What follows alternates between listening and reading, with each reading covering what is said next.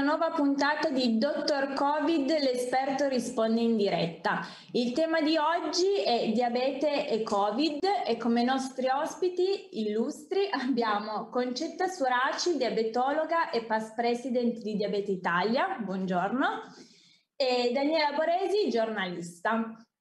Allora, diabete e Covid, eh, abbiamo deciso di trattare questa tematica perché ci troviamo in una settimana molto importante, perché sabato, il 14 novembre, è la giornata mondiale del diabete.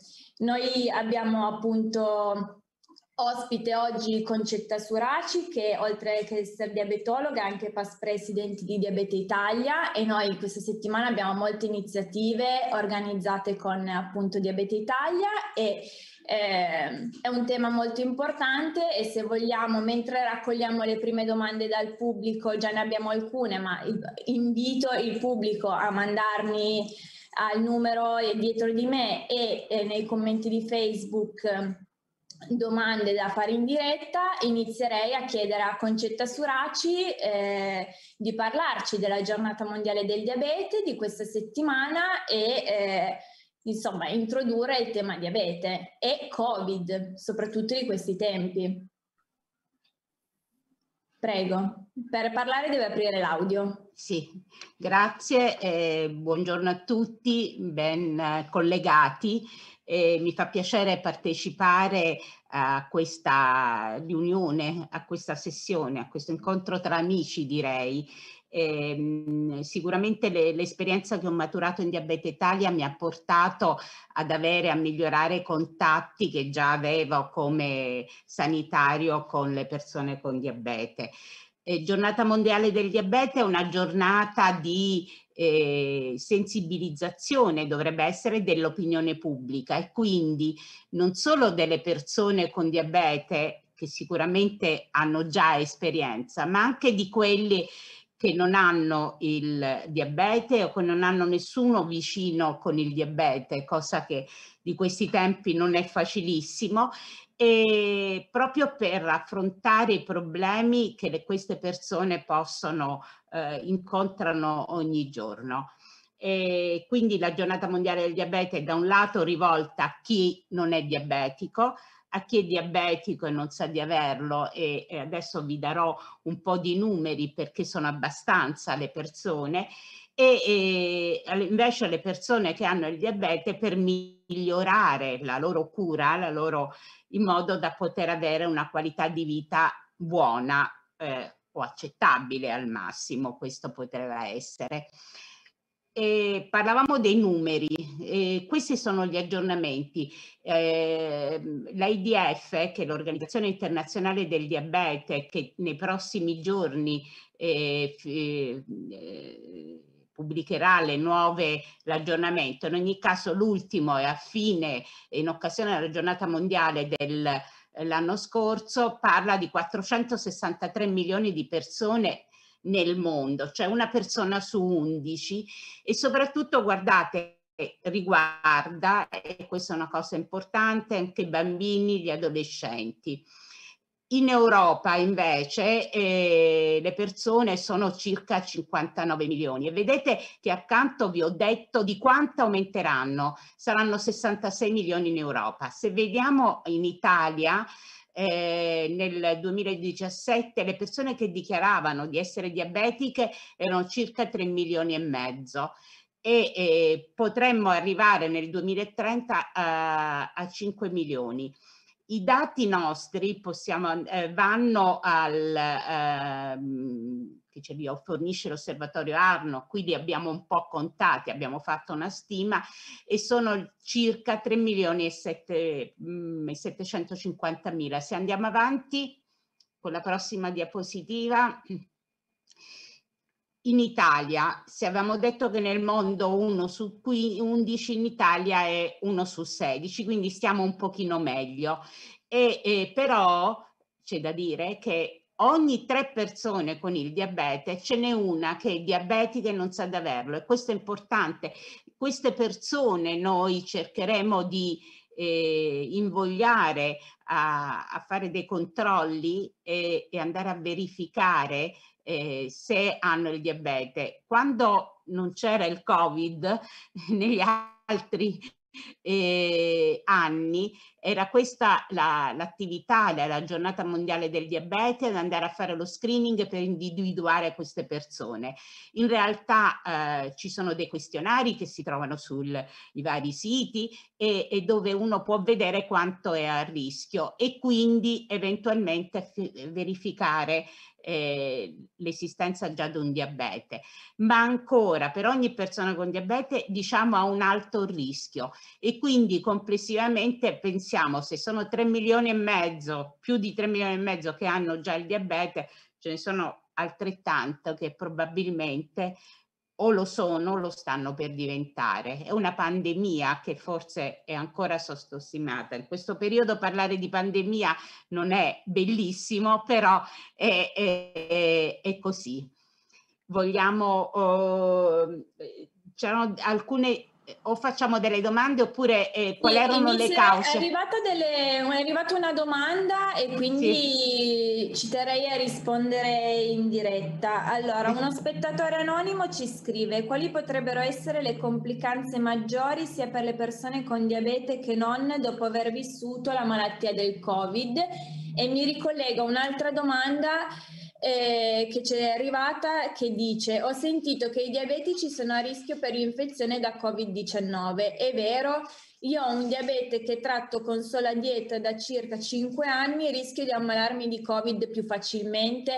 Diciamo che da queste domande che arrivano i malati di diabete sono giustamente molto preoccupati della pandemia che stiamo vivendo a livello mondiale, quella da Covid, perché anche il diabete è una pandemia. E... Clara, se posso aggiungerne certo. una così. Allora, una, la domanda chiede, in questo momento in cui molti ospedali stanno riducendo le attività ordinarie, è facile fare diagnosi di diabete o c'è il rischio che un diabetico, uno che sospetta di avere il diabetico, venga rimandato? Le giriamo tutte la dottoressa Suraci. Allora, cominciamo per ordine eh, ormai è sicuro che la persona con diabete non, ha, non è più a rischio di contrarre la malattia o di eh, essere contagiata.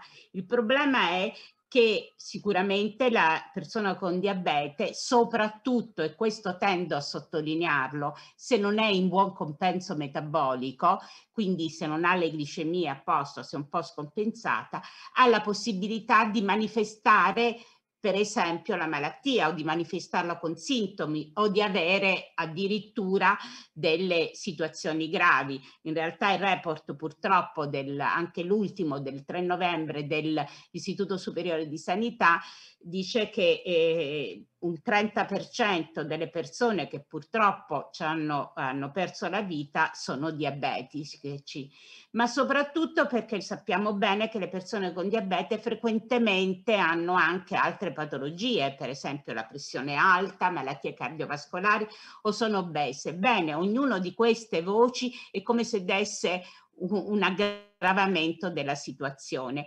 Quindi in questo senso eh, è, è, è, un problema. Mi dicevano se ci sono delle complicanze future. Se uno supera il, eh, le, le, la manifestazione, il Covid, e speriamo che eh, venga superato, in realtà delle complicanze specifiche non ce ne sono in realtà eh, faccio un accenno, si sta studiando, si sta valutando se eh, un'infezione da Covid nella persona non diabetica possa creare una reazione immunitaria e quindi andare poi nel tempo a, a attivare eh, quella che è l'insulite, cioè un, una manifestazione immunitaria a livello del pancreas e quindi ipoteticamente provocare un diabete di tipo 1, diciamo quello che possono avere i bambini. Sono degli studi molto mh, ancora eh, no, non completi e soprattutto ci sono dei dati in un verso o nell'altro, quindi per ora starei abbastanza tranquilla. Eh, L'altro pezzo di domanda, se ricordo bene, riguardava il discorso della diagnosi. Certo, in questo momento con gli ambulatori di diabetologia che non sono eh, diciamo attivi al 100% e, e, è un po' difficile, eh, i medici di medicina generale potrebbero aiutare ma sono anche loro sovraccarichi e soprattutto in alcune regioni, in alcune situazioni cominciamo a vedere che anche la possibilità per esempio di fare una, uh, un esame di laboratorio, semplice, eh, la semplice glicemia potrebbe creare dei problemi. Quindi direi uno di stare attenti a quali possono essere i sintomi di un'insorgenza di diabete ed è diverso tra l'altro se è in età pediatrica o in età adolescenziale eh, il discorso della comparsa di un diabete è sicuramente da individuare prima perché veramente mette a rischio. Quindi eh, il famoso oh, tanta pipì, tanta sete nei bambini va subito allertata, eh, contattato il pediatra, eh, eventualmente portato in ospedale in pediatria perché lì non ci sono problemi e il rischio che si corre è sicuramente maggiore.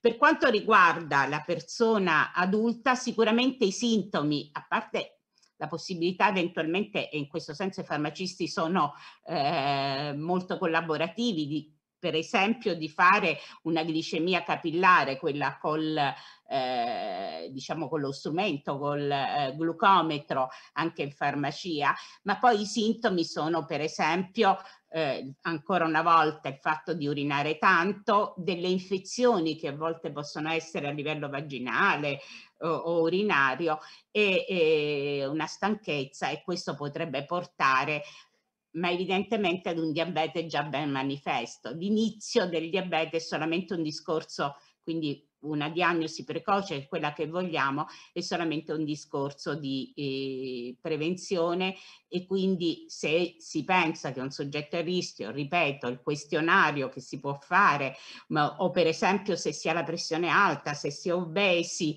o, o pensiamo anche alle donne che hanno avuto una gravidanza, a questo punto bisogna solamente fare una glicemia e controllare.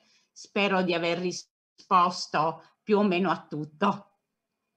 Certo, assolutamente sì, chiarissimo. Sì. Grazie mille, grazie mille. Infatti è arrivata eh, una domanda che eh, avrei piacere di leggere da Giuliana Bianco che chiede è vero che gli antipertensivi favoriscono il contagio da coronavirus? Cosa, fare, eh, cosa devono fare i diabetici che assumono questo tipo di farmaco? Ci sono stati molti problemi durante la prima ondata legati all'assunzione o meno di farmaci che potevano o meno interagire con la, il contagio da coronavirus. Che... Continuare a prendere il farmaco, esatto. la terapia è la cosa più importante. Che consiglio vuole dare ai telespettatori? Continuare a prendere i farmaci. Eh, c'è stata un'indicazione che alcune classi di farmaci potevano facilitare il contagio. Non c'è niente di definitivo e soprattutto non c'è niente di eh, basato sull'evidenza.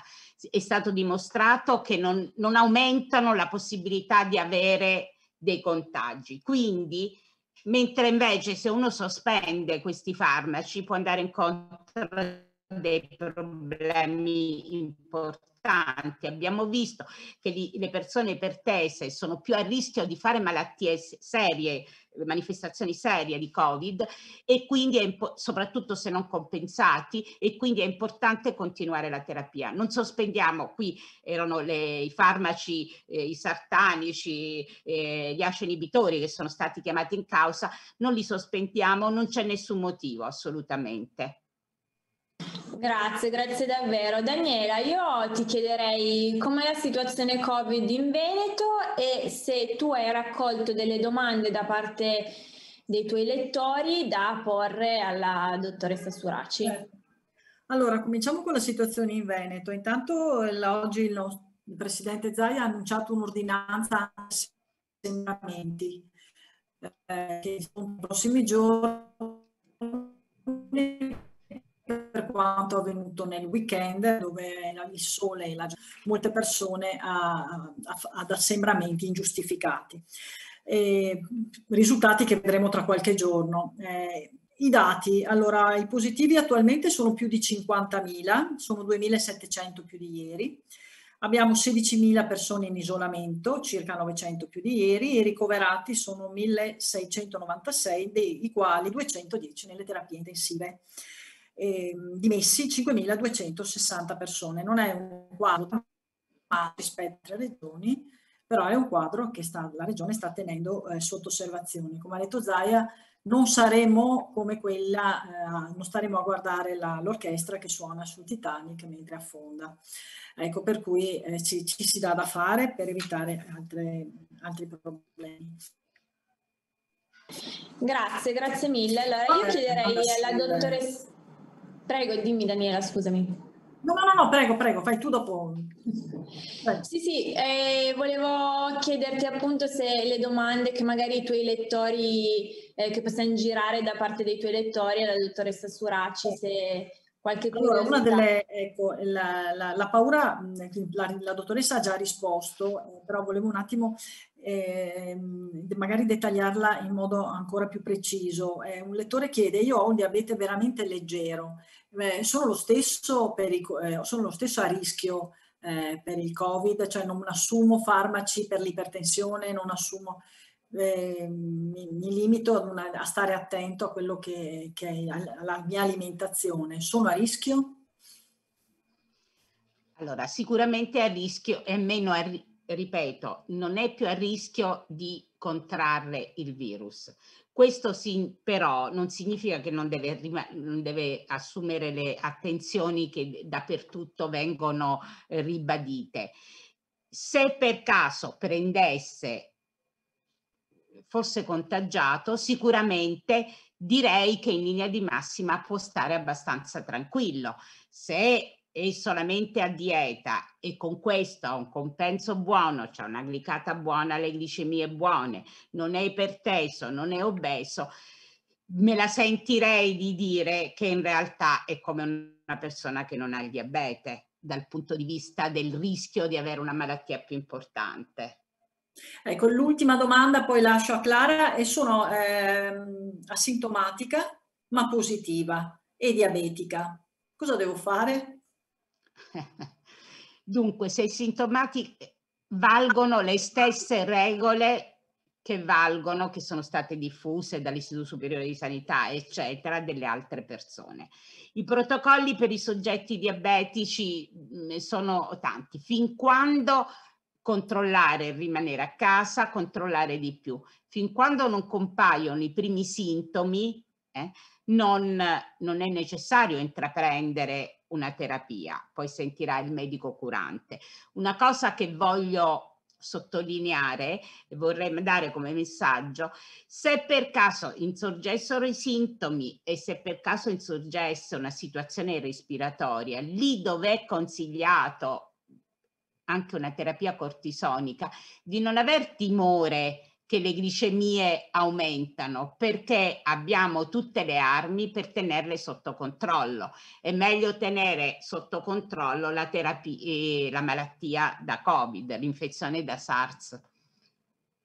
Spero con questo di aver dato un attimo di coraggio. Sicuramente. In caso volevo avvisare, volevo dire che purtroppo eh, ci sono eh, alcune persone, alcuni miei pazienti, eh, diciamo oh, anche di tipo 1 giovane che appunto facendo una vita attiva eh, si sono contagiati. È andata bene, stanno tranquilli, quindi vorrei mandare una, una parola di conforto in questo senso e di rassicurazione.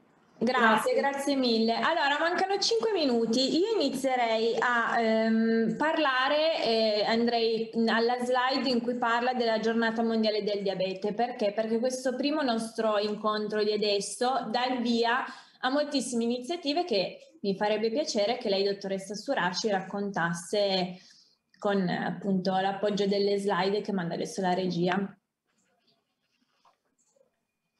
Prego. Allora, qui è solamente per ricordare che è stata istituita nel 91 da, appunto dall'IDF e che ha lo scopo di sensibilizzare sul tema. Sul territorio nazionale dal, mille, dal, 2002 in pratica Diabete Italia si è assunto quest'onere di eh, coordinare le iniziative, andiamo avanti. E questo è, il sito di Diabete Italia ma lo trovate anche su Motore Sanità con cui quest'anno abbiamo questa collaborazione e ci supporta. E sono tutte le iniziative, ce ne sono altre, purtroppo non abbiamo appunto potuto fare eh, delle attività in presenza e quindi si sia sulla pagina Facebook che eh, se andate sul sito vedrete ci sono delle conferenze stampa, ma poi eh, dei webinar eh, incentrati un po' sul, ehm, sul, trattamento e sulle problematiche eh, del diabete. Fino a quando ci sarà la eh, conferenza stampa, la riunione finale in cui parleranno un po' tutte le voci delle persone che si interessano e che intervengono alli, nella cura e nella gestione del diabete, quindi sia i pazienti, che sono i primi, ma anche eh, gli operatori sanitari, medici, il medico di medicina generale. Eh, Diabete Italia in realtà raccoglie un po' tutte le voci e in questo senso parleremo di questo. Grazie, grazie mille. Allora io do appuntamento tra otto minuti alla conferenza stampa di Diabete Italia per dare appunto avvio alla settimana diciamo del, del diabete che eh, finirà il sabato 14 novembre con l'evento Chiudiamo il cerchio in cui eh, appunto si parlerà della giornata mondiale del diabete. Se, posso, eh, se certo. posso, chiedere se fate vedere la diapositiva con il poster, perché in certo. realtà eh, questa idea di team e quella con l'infermiera, questa idea di team eh, che gira intorno e che sta intorno e che eh, collabora con il paziente è importante ed è ripresa dalla, uh, da quello che è il tema di quest'anno. Eccola qua, la vediamo qua. Sì. Ecco qui, fa la differenza l'infermiera perché, ma non è solamente l'infermiera, è tutto il team, soprattutto un'infermiera competente. Vi ringrazio. Grazie, grazie mille a lei, grazie mille, ci ritroveremo nei prossimi giorni. Grazie mille a tutto il pubblico che ci ha seguiti, siamo 320 su Facebook e 35 su Zoom, vi do appuntamento domani con Dottor Covid e tra poco con la conferenza stampa di Diabete Italia e Motore Sanità. Grazie mille. Arrivederci e grazie.